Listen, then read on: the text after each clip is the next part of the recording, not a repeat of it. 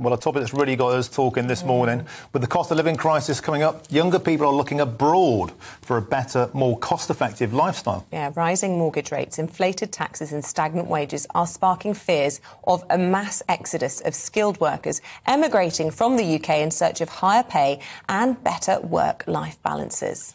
And already nearly 10,000 doctors left the UK medical workforce last year, and previous analysis shows that around half plan to move overseas according to the Now, could younger Brits follow suit?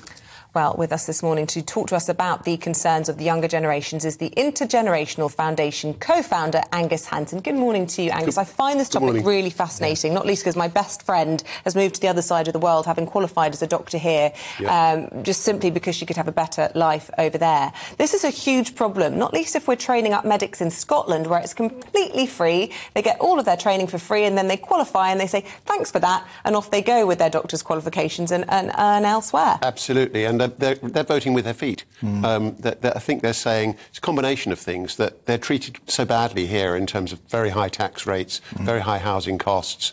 Um, and they're looking at the other side and saying, well, things are more attractive there. Sometimes doctors can double their pay by going to Australia or, or the US. Mm. Um, and it's, it's lifestyle thing. This is a big, a big deal.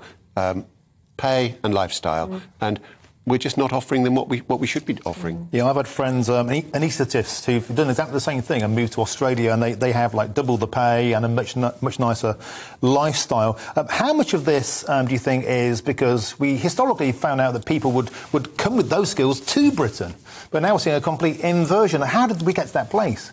Yes, absolutely. I mean, th- we're looking at a brain drain in the past um, we've had a brain gain. Mm. We've, as it were, been stealing or poaching um, doctors and, and medics for, from other countries. Um, I think we, have got to that place because of our the way we've treated young people. Mm. I mean, it's very much a question of intergenerational fairness. Mm. I mean, older people do so well relatively out of the system in terms of um, the universal benefits um, and in terms of the way that the pensions are uh, protected, the triple lock, absolutely. of course, benefiting those millionaire pensioners, about a third of them.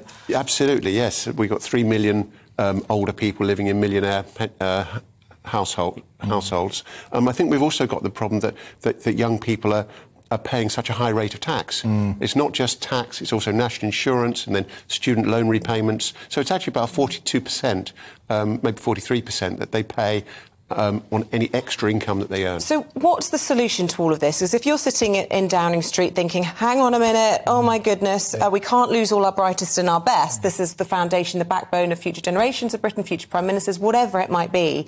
How do you tackle it? Because at the moment, politically, they say we have to protect our pensioners because they vote for us. I'm talking about the Conservatives here. Absolutely. But if they go for the youngsters, and as you say, reduce taxes, all the rest of it, we've all been discussing in the, in yeah. the wake of the, of the autumn statement that we have this high tax burden because we are in unprecedented times, and it's unfortunate but we have to kind of see it in a kind of post war footing, don't we, with the war in Ukraine as well. It's very difficult for young people, but it's a necessary evil. I think the first thing the government has to do, and indeed the Labour Party, is send a message to young people that they care.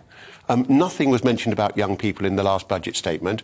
Um, it's a question of saying this is a country for young people. I mean, yeah. they often say no country for young men uh, yeah. or, or, women, actually, and, and we're, we're, making it that sort that sort of country. So it's partly a message. It's partly about specific policies. What we would like to see is a, a change so that every government policy is assessed in terms of its intergenerational fairness.